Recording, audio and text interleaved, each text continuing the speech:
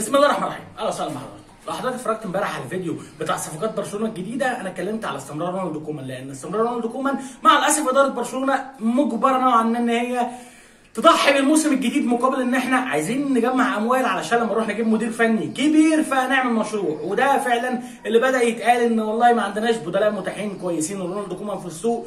طب نستنى 15 يوم لحد ما نشوف بيب جوارديولا هيعمل إيه في نهائي دوري الأبطال. لو كسب ممكن لابورتا يحاول إن هو يقنعه إن هو يرجع برشلونة. إن أنت كده وصلت لآخر الطريق و level الوحش مع السيتي فخلاص بقى يرجع انقذنا هنا في برشلونة. ده الكلام اللي بدأ يتسرب امبارح. إيه بقى الكلام اللي بدأ يتسرب النهارده؟ جيانلويجي دوناروما عقده خلص مع ميلان امبارح في تسريبات كتيرة من إيطاليا تقول لك دوناروما بيتجه لبرشلونة. أنا عن نفسي كمشجع برشلوني أتمنى إن دي تكون تسريبات عاملها مينو رايولا الراجل الوكيل بتاعه علشان خاطر يغلي سعره وعلشان خاطر يقول للأندية إن ده مرشح بقوة إن هو يكون مكان واحد من أفضل حراس العالم حتى وهو بيلعب بركبه واحدة مارك اندريه تير شتيجن لأنك ما تحاولش تقنعني إن دي صفقة فعلا برشلونة ممكن يروح يعملها. تروح تفكر إن أنت تتعاقد مع حارس مرمى free وتفكر إنك تبيع واحد من أفضل خمس حراس في العالم ان لم يكن من أفضل ثلاث حراس في العالم مارك اندريه تير شتيجن. ناس كتير تقول لك مستوى تراجع. يا صديقي إحنا بنعاني في خط الدفاع مشكلتنا مش مارك اندريه تير شتيجن. هتقول لي لا ما إحنا رحنا جبنا إيريك جارسيا.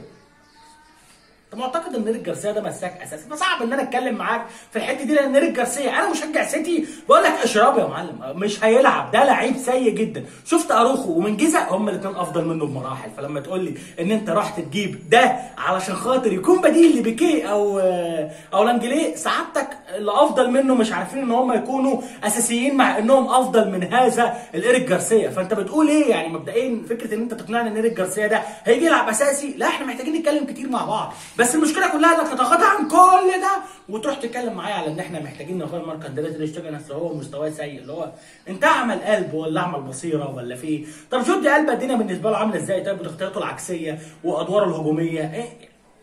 في لعيبة كتيره في برشلونة تستحق الرحيل وتستحق فكرة إن إحنا نتكلم على رحيلها غير الكلام على ماركا اندريه تريشتجن الكلام على ماركا اندريه تريشتجن هو مجرد كلام وضرب من المجانين بيحاولوا إن هم يعملوه. يا جماعة فكرة إنك تتخلى عن مارك اندريه تير شتيجن وتروح تجيب دوناروما. فكرة فاشلة بنت 60 جزمة. ده أنا مش متحمل فكرة فينالدوم. تروح تجيب لي كمان دوناروما. مكان تير شتيجن ما تبطلوا يا جماعة إلحاد يا جماعة. إحنا كل ما بننتظر ثورة في أم النادي ده بيطلع علينا ثورة ضحك. في إيه يا جماعة؟ إحنا بنبطلوا تهريج بقى. السنة اللي فاتت قلنا لكم آه بيانيتش هيجي هيفشل عندك لأنه مش قادر يمشي في يوفنتوس في سنته الأخيرة فهيجي عندك. هو مش قادر. انت برضه جايب فينالدوم وهيبقى عندك برضه مش قادر وهيبقى صفقة فاشلة من 60 جزمة. تقرر إن أنت لأ أتخلى عن واحد من أعمدة الفريق ونجوم الفريق آخر ثلاث سنين مارك اندريه تير شتيجن وأسيبه في الميركاتو ويقول لك إيه أصل دورتموند عايز يشتري تير شتيجن دورتموند مين يا ابني؟ أنت لو قررت إنك تبيع تير شتيجن هتلاقي في أندية كبيرة جدا بدأت تتكلم على مارك اندريه تير شتيجن هتلاقي على الأقل مثلا يوفنتوس. يوفنتوس مارك اندريه تير شتيجن يلعب وهو مغمض كده. يلعب أساسي بجد وهو مغمض. ما تقوليش مش متخيلة فكرة إن إحنا نتخلى عن مارك اندريه تير شتيجن بصراحة يعني. لو أنت شايف إن تير شتيجن عنده مشكلة فقول لي ان تير شتيجن عنده مشكلة وسيب لي في الكومنتات انت موافق على الصفقة الفاشلة من 60 كلب دي ولا لا؟ ده أنا ببلع اجويرو بالعافية ولاد الجزمة هو وديباي. هتجيبوا لي كمان دوناروما. ده إحنا كده مش بننافس على دوري الدوري إحنا كده بننافس على الضحك والله. حسبي الله ونعم الوكيل فيكم يا ولاد الذين.